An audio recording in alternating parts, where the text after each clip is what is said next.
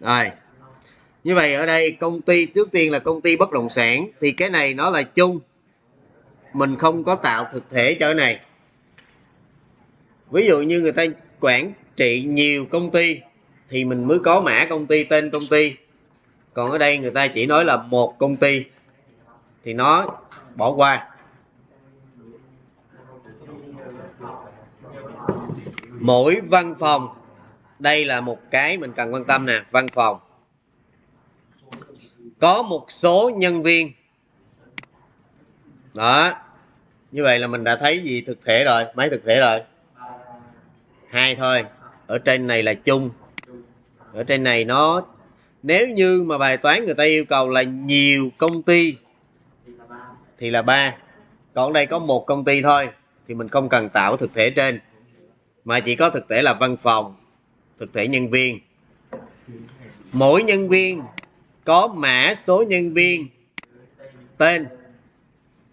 Như vậy đây là bảng nhân viên và đây là thuộc tính của bảng nhân viên. Mỗi văn phòng có một nhân viên làm trưởng văn phòng. Đây là mối quan hệ. Quan hệ, đúng không? Đó đây là mối quan hệ giữa nhân viên và văn phòng. Cái quan hệ này là quan hệ gì hồi nãy ta? Một một. Ồ oh, giỏi quá. Một nhân viên có nhiều thân nhân. Thì ở đây là một entity nè một thực thể nè. Ở đây là một entity nữa nè. Mỗi nhân viên có nhiều thân nhân và thông tin thân nhân, thì cái thân nhân này trở thành một cái gì nữa? À một cái thực thể nữa. Thân nhân thì có tên, có ngày sinh. Và cái quan hệ này là con hay là vợ hay là gì đó. Như vậy cái mối quan hệ này là một cái relationship đây. Quan hệ gì? Hoặc là mình đẩy cái này vào thuộc tính công ty bất động sản có một số bất động sản cần bán. Như vậy, danh sách bất động sản, danh sách các sản phẩm sản phẩm bất động sản trở thành gì? Một e nữa. Thông tin bất động sản gồm mã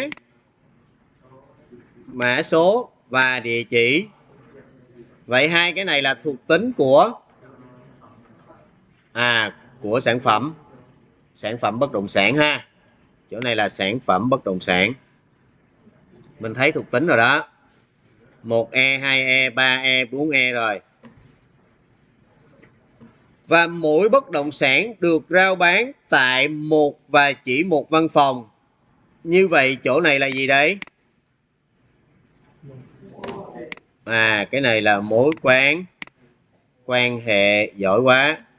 Mỗi văn phòng có nhiều bất động sản thì cũng mô tả cho cái quan hệ luôn. Quan hệ một nhiều. Và có thể không có bất động sản nào. Như vậy, cả nguyên cái đoạn này, từ cái chỗ mũi này, đến đây, đều mô tả quan hệ đúng rồi. Mỗi bất động sản có một chủ sở hữu. Và chủ nhân được xác định bởi mã số chủ sở hữu. Vậy xuất hiện thêm gì đây? Một cái e nữa. E nữa là gì? Chủ sở hữu. Rồi. Thuộc tính của nó đâu? À mã số chủ sở hữu. Một người có thể có nhiều bất động sản. Chỗ này là gì? Quan hệ. Thông tin về chủ sở hữu, còn có tên, địa chỉ, số điện thoại. Vậy hồi nãy thầy nói gì? Thích thì nói. Cũng là chủ sở hữu, nhưng mà ở đây là mới nói là có mã chủ sở hữu thôi.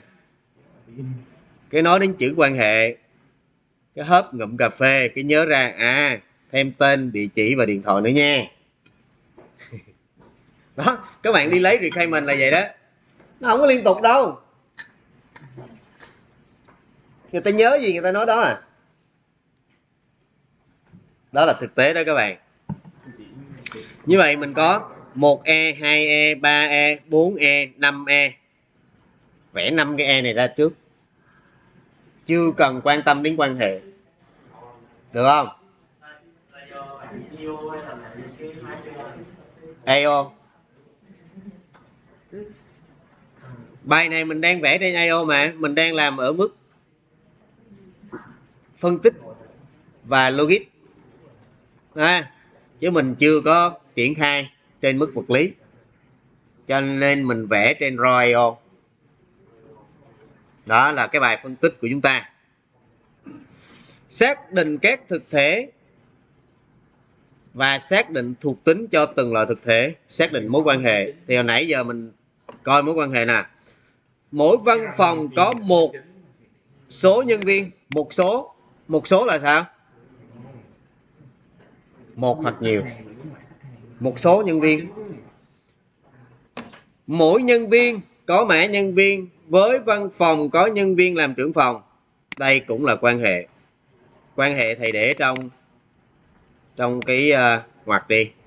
Một nhân viên có nhiều thân nhân cũng là quan hệ luôn.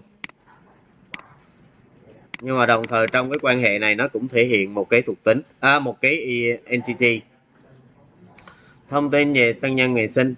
Công ty bất động sản cần bán thông tin bất động sản và rồi ok như vậy mình đã phân tích xong cái lab 2 bài 1 và dựa trên này tí nữa chúng ta sẽ vẽ cái sơ đồ RD ra. Đó là màn 1 cảnh 1 như chơi game quýnh ải. Tí nữa mình sẽ có màn 1 cảnh 2